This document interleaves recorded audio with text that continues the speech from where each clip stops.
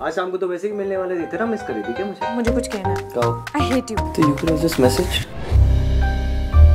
you are such a mother you are such a mother father बहुत अच्छी है। बहुत क्यूट इतनी प्यारी लड़की मैंने नहीं देखी है। वो डेफिनेटली मेरे पास आएगी। सर हमने अपने बेबी का नाम ध्रुव रखा है। मैं तो फुल नेम रखना चाहता था। ध्रुव नारायण। ये तो चाल उल्टी पड़ गई ना राइटर साहब।